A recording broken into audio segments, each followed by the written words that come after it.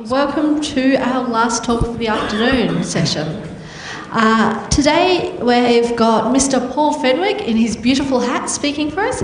Paul is the Managing Director of Perl Training Australia and has been teaching computer science for over a decade.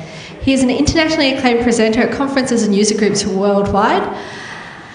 In his spare time, Paul's interests apparently include security, mycology, cycling, coffee, scuba diving, and lexically scoped user pragmata. Welcome, Paul. Thank you, everyone. So just a, uh, a quick show of hands for me so I can, actually, people up the back, can you hear me? Anyone up the back, if you can raise your hands? Okay, great. Um, quick thing for me, just to see what my audience is like. Um, who here has programmed in Perl before?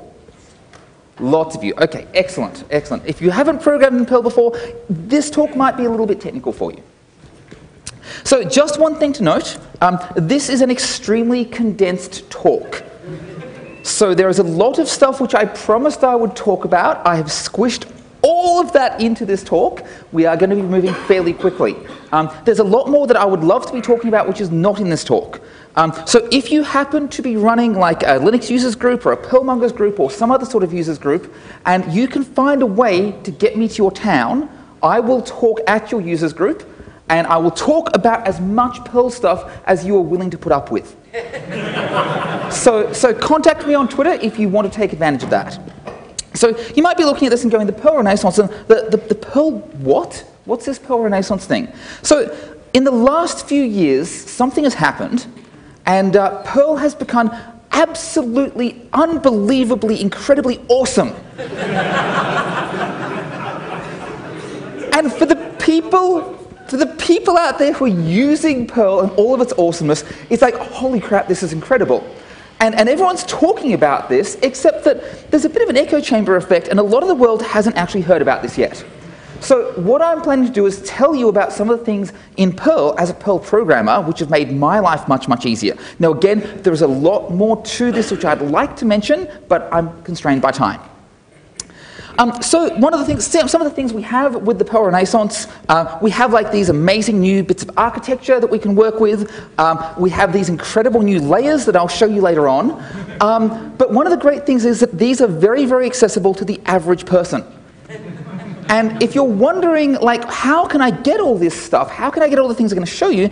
All the stuff I'm going to show you is on the CPAN. Now, CPAN is the Comprehensive Perl Archive Network. Hopefully, you've all used the CPAN before. And um, the last time I checked, it had a little bit more than 26,000 distributions.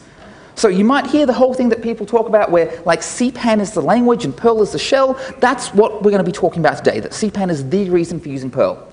And in fact, if you plot the number of CPAN distributions being released, it's this incredible curve which is going quite exponential. This was actually recorded last year, December uh, 2012. You'll even see there's like a one down here. Things are being released in the future.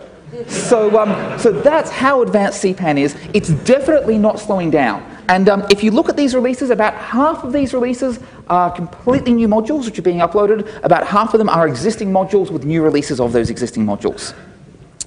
Also, I won't go into it too much detail, but if you are using CPAN, you probably want to be using Meta CPAN. It's got all these wonderful new features. You can uh, save things to lists, you can favorite things, you can see what other people's favorites are. Um, there's great APIs. You can click on something, it will clone the source code repository for you straight out of CPAN Meta. Um, it's wonderful, absolutely wonderful. The problem with CPAN, of course, um, is that you have to install modules. And I've worked as a Perl consultant for, for a little bit over a decade now, and the number one problem that people seem to have is installing modules. And it comes down to using this thing called the CPAN shell. Now, I know that, that most of the audience here has used Perl. Who likes the CPAN shell? A, a couple of people. Please, questions at the end because I cannot hear you. So, who likes the CPAN shell? A couple of people put up their hands. Who likes it on older versions of Perl? Yeah, okay, without root. It's just insane. If you're using an old version of the CPAN shell, it drives you crazy. And the reason why is it starts off with like, hey, do you want to configure the CPAN shell? And it's just like three hours worth of answering questions, and you always get one wrong. Um, so there's this wonderful thing, and I've got up on stage at a conference and hugged Miyagawa, the author of this, called CPAN M. CPAN M or CPAN minus, I kid you not, is better than ice cream. I would rather give up ice cream than give up CPAN minus. That's how much I love this tool. And I really like ice cream. So CPAN-M works in Perl 5.8 and above. Uh, it's pure Perl, there's no dependencies. It works with local lib, which allows you to install modules locally, and I won't go into all the details here. And it is completely hands-off. So if you have CPAN-M installed, you want to install a module, you just say, hey, install this. And it's like, sure, okay, I'll go and work on Moose. I'm going to fetch these things down. I'm going to configure it. I'll build and test it. If there's extra things it needs to install, it'll go and grab those. And it says, hey, I'm done. Like it's really, really, really simple, and it saves you. If you've ever tried installing Moose, there's like 15 million pages of output. It hides all of that in a file for you because you only really want to see that if things go wrong. So we have a bootstrapping problem here. How do you install CPAN minus? Easiest thing ever. You go to a, if you've got a web browser, and hopefully most of you have a web browser on, on some sort of a device, um, you go to that URL and you right click and you say save source. And that's it. That's how you install CPAN-M. If you don't have a web browser, you can use curl to install it. It's that simple to install CPAN-M. Or if you want to get fancy, you can do this, which says, hey, CPAN-M, you figure out how you want to install. I don't know how to use a greater than sign. So it's really, really simple. Um, there is CPAN-M sudo, uh, which does what you expect. It allows you to install things as an administrator, but by default, CPAN-M installs things as the local user. There's this other thing which you might want to worry about. How do you install Perl? Chances are you're using Perl and everything. You've had, oh, Perl 5.16 point blah is amazing. You go to your machine, it's running 5.8, 5.10, something like that. Um, again, there's this wonderful system called Perlbrew. Perlbrew absolutely blows me away, especially when it comes to testing things against multiple versions of Perl, and I'll show you why. So to begin with, you install Perl Brew using CPAN minus. You say, hey, what's available? It's like, hey, here's all the versions of Perl I know how to install. And so you can go, okay, go and install this. It runs off, it builds it for you, it compiles it, it installs it locally. You don't need to be administrator. You can do like a Perl Brew list. Here's the versions of Perl I happen to have installed. And then if you want to be using a particular version of Perl, you just say Perl Brew use blah. And this is really, really simple. It's like, I want to use this version of Perl, now I want to use this version of Perl, now I want to use this version of Perl. So if you want to test if something works under a particular version, you can do so. And it plays nicely with local libs, so you can have different modules installed for different versions of Perl. Um, I'm not showing it in this talk, but there are ways that you can migrate modules between different versions of Perl. It's fantastic.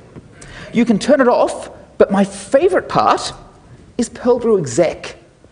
Perl Brew exec is super, super, super cool because what it lets you do is it lets you run some code under every version of Perl that you have installed. So you can say Perlbrew exec, and then here's something I want to do. Here's like a hello world sort of thing. Now note this doesn't have to be a Perl blah blah blah. You can run any sort of shell command you want there, and it will switch to each version of Perl in succession and run that shell command. So if you want to test, hey, I've written a module, does it work under every version of Perl written in the last 12 years? You can do that in like one command. It's amazing. And you get all this output. So I've shown you how you can install modules. I've shown you how you can install Perl. Let's actually write some damn code. So people have used Perl. Who's written code? All of you. Excellent. Who's written code that you shouldn't have to have written? All of you, exactly.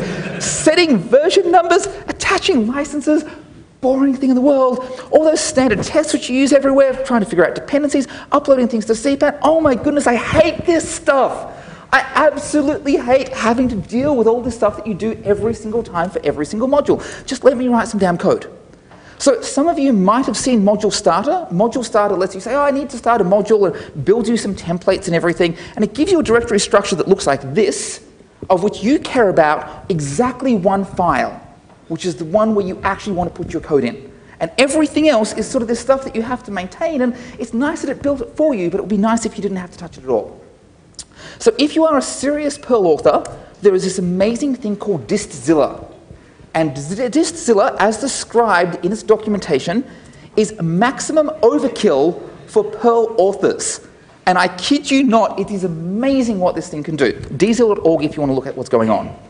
So the first time you run it, you run diesel setup. I'm not going to go through all that. You answer some questions. And then you say, please make me a new module. diesel new my module. And what you end up now is with exactly two files. One of those files is a dist.ini, which describes what your distribution is and how it works, and Distzilla makes that for you. And the other one is your module. There are no tests in there, there are no readmes, there's no manifest files, there's no make files, there's none of this other sort of stuff because Diesel makes all of that for you. So when you type Diesel build, that will actually build your distribution. It makes a subdirectory, it puts in all that stuff that you expect, but you don't have to maintain it anymore. You do a diesel test and it runs all the tests for you. You do a diesel release, it runs all the tests for you and all the author tests and all the release tests and it uploads it to the CPAN for you. Now, at this point, you might be saying, okay, sure, that's kind of cool, but, but so what? You know, maybe I don't really care about having to maintain those extra files. Well, the cool thing about Diesel is it's a pluggable architecture. So you can plug extra things into it. So here's your sort of basic file and everything. Name, author, license, blah, blah, blah, blah, blah. You know, this is at basic thing down the bottom. But I can say, hey, I'd really like you to be aware of Git. And so now it'll say whenever you do a release, it will tag that in Git for you. It'll also make sure that you can't do a release unless all of your files have been checked in. If you have uncommitted code, you can't do a release. You can do things like, hey, figure out my prerequisites for me, because I don't want to have to do that myself. Or please update my package versions for me. Or please use Perl Test Critic, which I'll show you later. Or please write my pod for me. This is absolutely wonderful. There tends to be all this boilerplate pod that you write everywhere of here's how you ask for support, here's how you submit bugs, here's how you do all these other things. This is absolutely fantastic and it actually extends pod to make your life much, much easier. What's even better is if you're using Diesel, all of these things require you to install extra modules. You can just say, hey, figure out what extra modules I need to install and pipe that to cpanm. And it then installs them all for you. All of, your, all of your distribution requirements, all of your testing requirements, all of your build requirements, builds everything, which is wonderful. So let's look at some more code. Let's look at object-oriented Perl. Um, just a, a quick show of hands here. Who here has used object-oriented Perl? Some of you. Okay, so as you know, out of the box, OO Perl is not awesome. It's not even close to being awesome. And, and if you sort of grew up in the dark ages of how people were trying to figure out what OO should be in Perl, it was just way too flexible. there were just like too many ways to do it. Uh, most of them are wrong, um, or they were stupid, or they were both.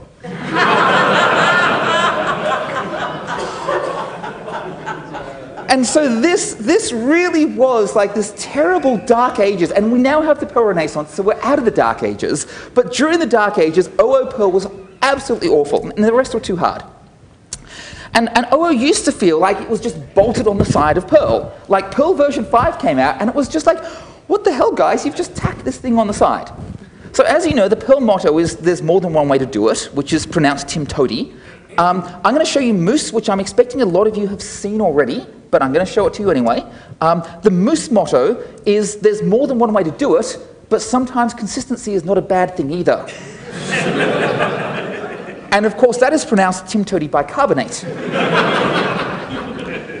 so how do we install Moose? How do we use Moose? Well, here, my, here I've got a class, you know, same way I do a class in normal OO Perl, package blah, use Moose. Um, here's how I do attributes.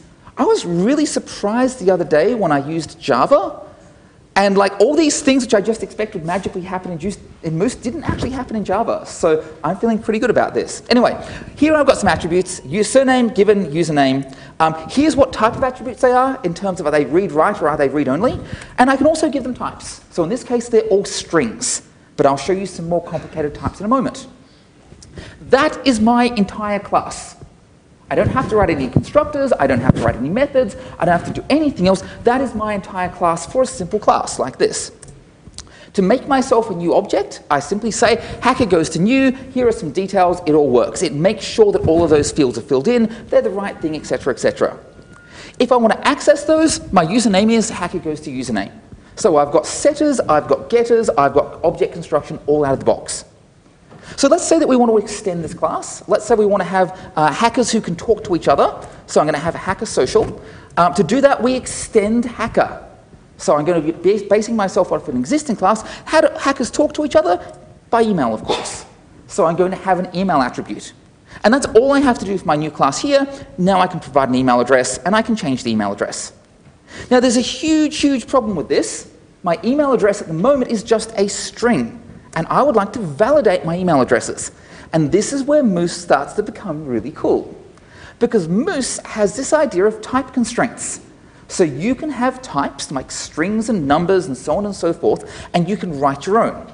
So I'm going to use the existing regex common module, which knows how to uh, parse email addresses and verify email addresses. And then I'm going to say that there is a subtype called email, which is a string, and it's considered valid where it matches the regular expression which I've got up there. So this is a very, very simple way of saying make sure it's a valid regular expression, otherwise there's a message I provide. Now when I write my code, I say that you has an email, it is read-write, and it is an email type. And now whenever anything's put in there, it gets type checked by Moose to make sure that's a valid email address. And if it's not, you end up throwing an exception and you can go and use that. So that's pretty good for setting up attributes. Of course, eventually you'll want to write some methods. So how do I write a method in Moose? Well, you know, I write myself a subroutine and I say myself, which is the first thing that comes in as the object, and then my arguments come in and so on and so forth. And, and just hang on a second. What's that? At underscore. Who here knows what at underscore does? Okay, it's, at underscore is like the list of arguments to your subroutine. It is my most hated Perl variable. Like every other language in the world has a proper way of passing in arguments. Perl is like, here's a list. What's more, it's a really ugly variable name. Like, what the fuck? You have all this stuff with Moose. It's like, this is like the best object system I've ever worked with, and now I have to touch at underscore. Like, seriously, what is wrong with this? It's like, you know, the Stone Age called and they want their method signatures back. It's just, gah. So, I'm going to show you uh, MooseX method signatures. Um, I know that some members of the audience have strong opinions as to which uh, module should be used for signatures. Really so I, I, as Schwern is pointing out, this is apparently slow. Um, I have not noticed. I've been using this in production code for like the last two years. I haven't noticed it being slow. Um, but apparently there are faster mo modules. I'll mention some in a moment. So I'm going to show you a real world example um, from the Beeminder APIs. Um, some of you I might have spoken to Beeminder about. Um, in a nutshell, it's a way of having uh, these pretty little graphs. These are online. Uh, I can uh, track things like my dance lessons or my inbox size or when I floss my teeth. Um, and I can actually have this goal. Here I have to keep below that yellow line. And if I don't keep below that yellow line, I get fined money. So it's a very motivating way for me to like make sure that my inbox is kept under control. So the Perl module which lets you work with this is, is Web Service Beeminder, um, and it uses MooseX method signatures, and this is actual code from the module. So first of all, rather than having to write sub, I can write method. Makes it very clear, this is a method, add data point. And then, like every other language in the world, we can say, here are some parameters that you pass in. So here I've got a string and I've got a number which I'm passing in, my goal and my value, they're required. If you're wondering what the funny syntax there is, the colons say that these are named parameters, so I'll show you an example in a moment. The exclamation marks say that they have to be there. They're required parameters.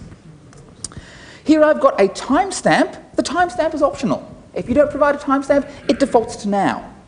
And likewise, I'm going to have a, a, string and I'm going to have a boolean value. Should I send the user some email about this? And then I've got some code. I don't actually have frobnicate inside the actual module code. This is just to give you an example. So I set a default timestamp and away I go there. Notice here that all of these have great names. So that's called goal and timestamp and so on and so forth. The way in which I call that looks like this. There's my goal, there's my value, there's my comment, so on and so forth. So the named parameters which I pass in match those variable names which I've got. It's really, really easy to see what's going on. So that's how I floss my teeth. I run that little piece of code snippet. Now, of course, there is, happens to be a bug in this. Um, the bug is that uh, Perl Boolean values tend to be these true falses. Um, so one is a true value in Perl, zero is a false value in Perl. Uh, the Beeminder API actually wants strings, true and false. Now, it's going to be an obvious and easy source of bugs if my users have to write true and false when they've come from Perl land, they're used to writing one and zero. So what I can do is I can define a subtype. So a subtype of a bbool is a string which can only be true or false. It can only be those two values.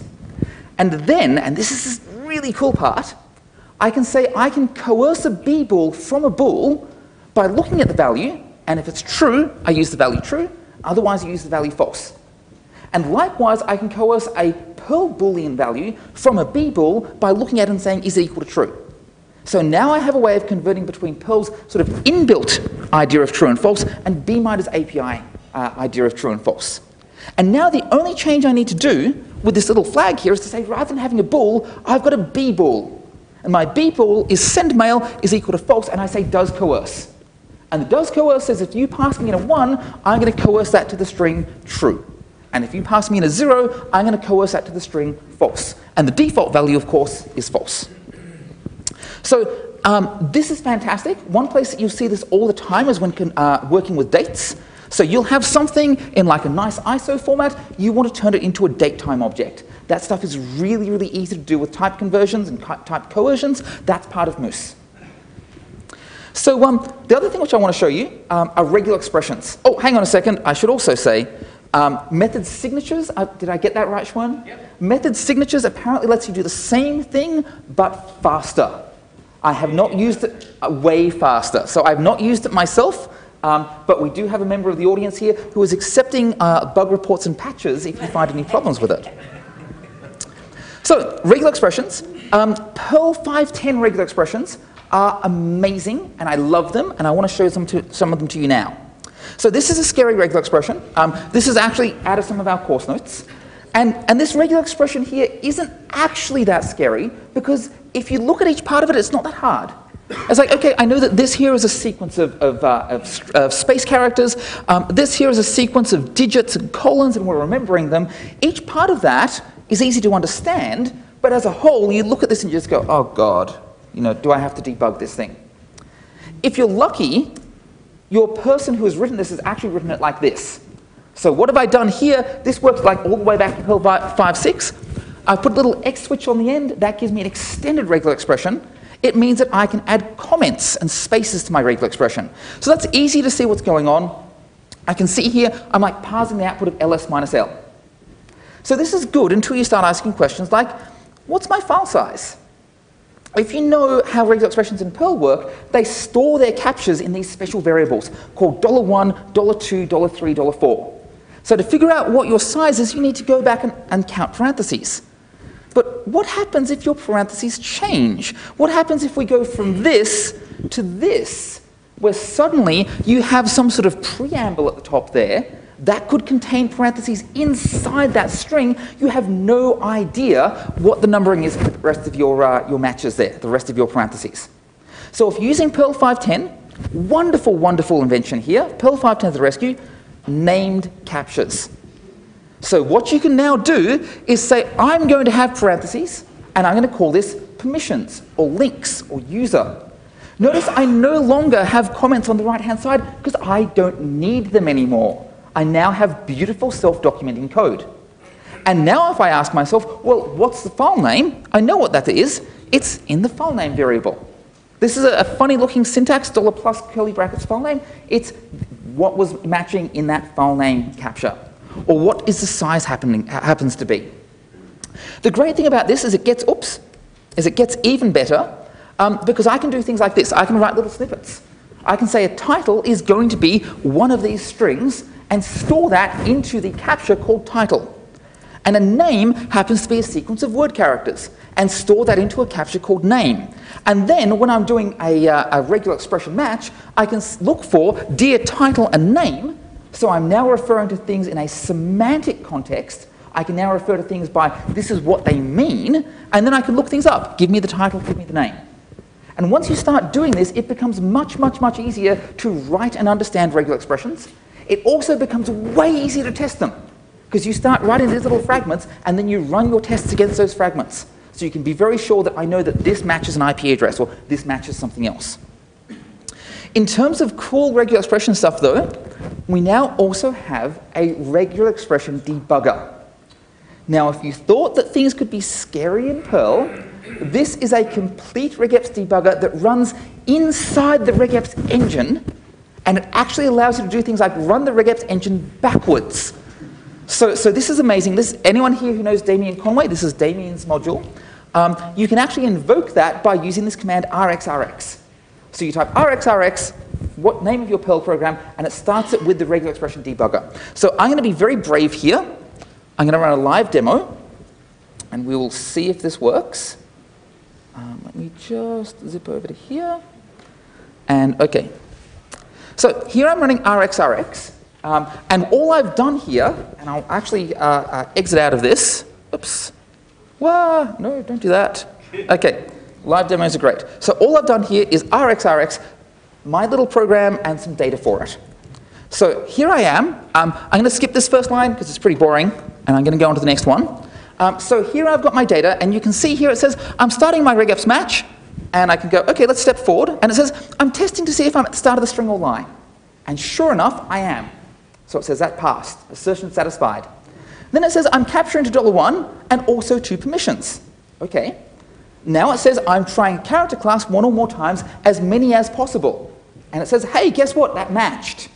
And then you'll see this awesome thing. It tells me what's inside dollar $1. Now I'm at the end of dollar $1. Now I'm trying to match it with some white space characters. That worked. Now I'm trying to capture dollar two. I'm trying a digit one or more times. That matched and everything. Hey, here's what's inside dollar two. So I can actually walk through my regular expressions and see why they are matching. I could even do like awesome things like, hey, show me how they're matching in JSON format. Why? Because you might want to actually dump this sort of thing out to see how long your regular expression is taking, how many steps are they taking. You might want to pass this into something else, or you might want to like reload this and, and sort of rerun a regular expression match. So you can do really cool things there. Uh, you can do heat matches. You can actually see how long does it spend in certain parts of the regular expression. That's really useful if you've got something with lots of backtracking. If it backtracks over something lots and lots of times, that will show up bright reds and yellows, and you can spot that really quickly. So RxRx, do grab it. It's absolutely amazing. Incredible, incredible piece of code. I can't spend too long on that though, so I'm going to get back to. This is the problem with live demos. I've got two live demos here. Excellent. So I'm going to get back to here and talk to you about web development. Now, for some reason, whenever we talk about web development in Perl, uh, we're obligated to mention these three letters, um, to which my response is, that's pain. Never, ever, ever touch that. So Perl now has these amazing frameworks, Catalyst, Jifty, CGI application, Mojolicious, all these other sorts of things, which are apparently amazing frameworks to develop your, uh, your applications in. However, none of them match my attention span. Based upon a, a popular uh, social networking site that I've used for the last couple of years, my attention span is now limited to 140 characters or less. and the only thing which I have found which allows me to write a complete web server in Perl in 140 characters or less with enough space for hashtags at the end, which work because they're comments in Perl, is Dancer.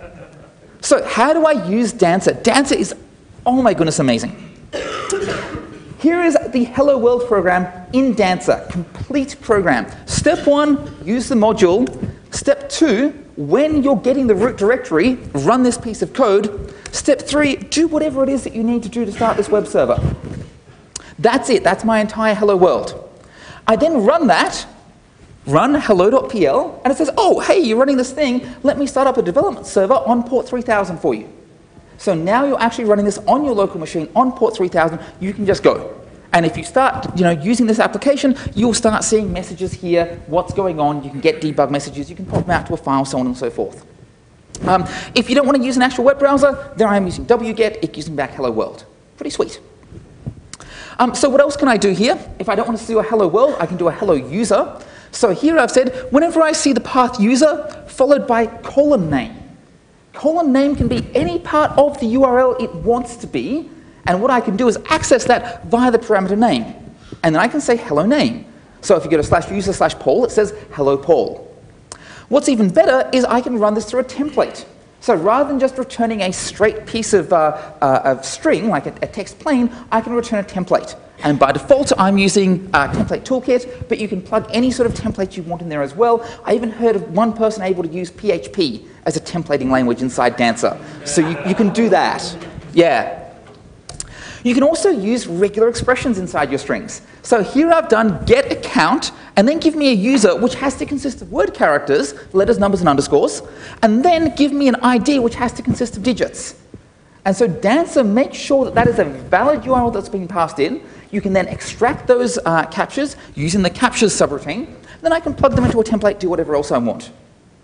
Other nifty things I've seen people do this with, um, anything which starts with a demo for example, I'm going to change to a demo database. So I've got something somewhere which is connected to a database. I'm going to switch over to a demo database, and then I'm going to use an internal redirect, a forward, to the actual article's URL that would normally be called with the parameter that I've given there. So you can actually do things where it's like based upon some leading path, you can do this. You can put hooks in to say before you access any URL, you've got to do this. So if you're not logged in, you go to the login path. And this is beautiful for me because I find myself writing all these web services. I can say, hey, when I return a Perl data structure, serialize that into JSON for me and just hand that back. So I'm writing all these applications these days which aren't really working directly with clients, they're, they're working with applications that want back JSON. And it's super, super easy. Return a hash reference, here's some JSON. So that's perldancer.org. Um, there's also, whilst we're talking about the web things, there is Plack. Who here has used Plack? Yes! Okay, you are going to love this. I might run a little bit over time, but it's going to be so exciting it's worth it. So, Plack is the ultimate glue layer. Absolutely amazing. Everything plugs into Plack. So if you're using CGI or Mason or Dancer or Catalyst or all those sorts of things, all of your web development things in Perl, they all plug into Plack. And all of your servers, your Mod CGI and Fast CGI and Nginx and Starman and Lighty and all those things, they all plug into Plack as well. So this here sits between your application and your web server. You can also have it be your own web server if you want. So the exact same application I had before, that Hello World application, I'm now running under Plack by simply saying Plack up hello.pl. It says, okay, I'm now running a Plack server, I'm accepting things on port 5000. And you might say, yeah, okay, so, so what? You know, maybe this is going to make my life a little bit easier because I don't have to try and figure out how to get this to work with that server over there. Um, the big thing about Plack, though, is it allows you to plug in middlewares.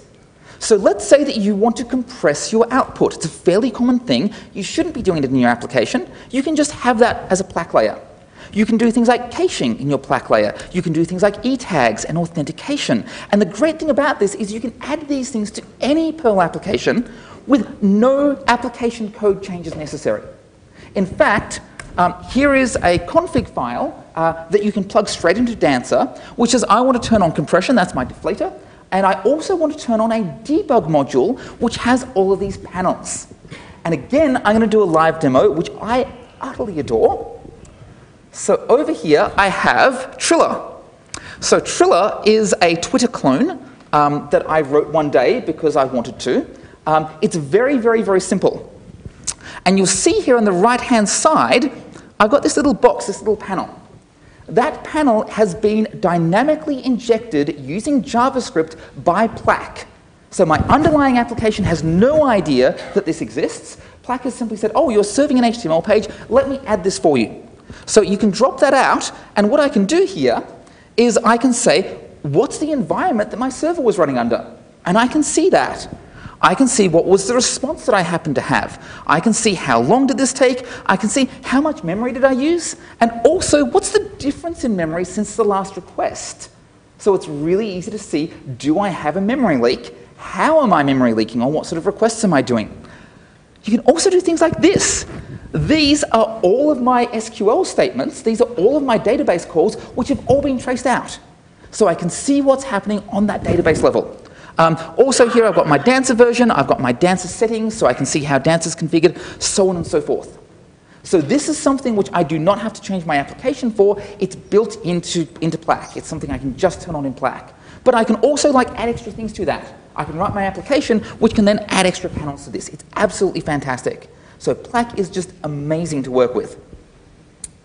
So back over to the main demonstration. I have five minutes left before, less than five minutes left, before I have questions. So, the last thing I want to talk about is code review, super quickly. Um, excuse me one second. Why are you not? Yes, excellent, code review. So last thing I want to talk about is code review. Um, there's this great little book that was published a number of years ago now called Perl Best Practices. Um, and if you happen to have that lying around, it's a really good read. It's going to teach you lots and lots of cool stuff. Um, but what happens if you're too lazy to read Perl Best Practices? Um, also, ideally, code review is you get someone else to review your code. But what happens if you don't have someone else around to do that? Well, there is this totally awesome module called Perl Critic. That some of you might have used, um, Perl Critic has read Perl best practices. so what you can do is you can just go, I just want to like just check my code, see if it's okay. So it's a command line tool. Um, I happen to be responsible for the world's fastest Minesweeper bot um, because I got like tired of playing Minesweeper all day, so I wrote a bot to do it for me. Um, so I can run Perl Critic sweeper.pm. And uh, what it will do is it say, okay, I'm running that, and it says, hey, that looks okay. Now, the reason it says it looks okay is because by default, Perl Critic is very, very gentle with you. It's only if it sees you do something that's just a really bad idea does it complain. So you can say, okay, I want you to be stern. so Perl Critic stern, and it says, okay, I've come back with all of these things. And you'll notice what I've got here is pragma blah blah blah, see page 55 of Perl Best Practices. So if you have the book there on your desk, you can turn it open and see what's going on. You can see, you know, blah, blah, blah, see pages 81 and 82 of Best Practices. So it's pretty cool.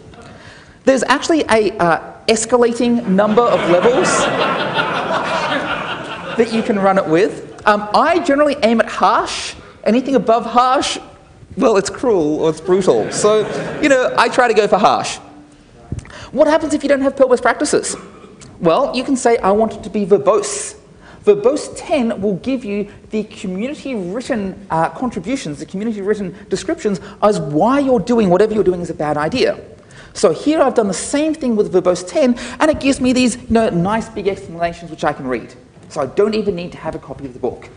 And you're like, okay, sure, it's complaining about this constant pragma, but you know, I happen to like the constant pragma. Best Practices recommends that you use the read-only pragma. I use uh, the constant pragma in some of my modules to do conditional compilation. So they run different code based upon your operating system.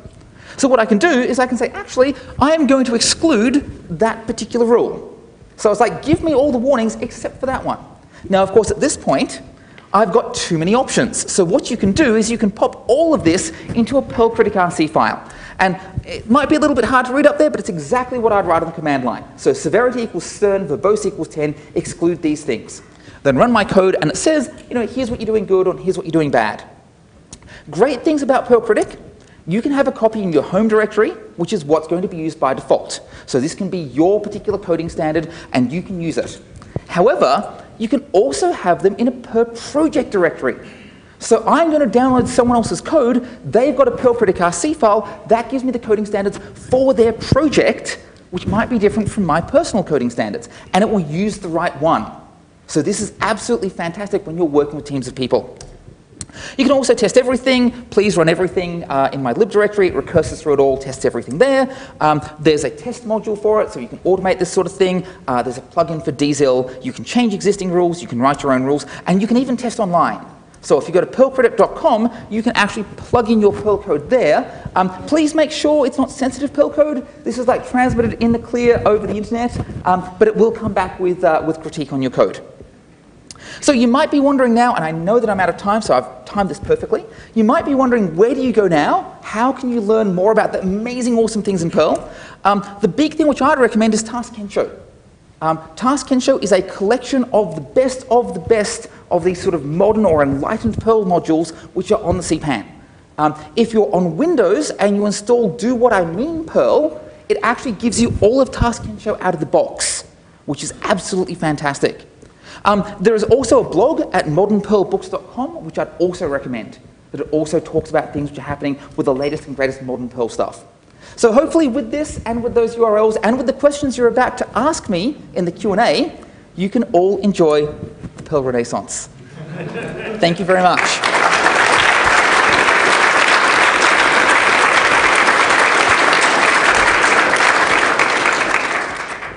Questions?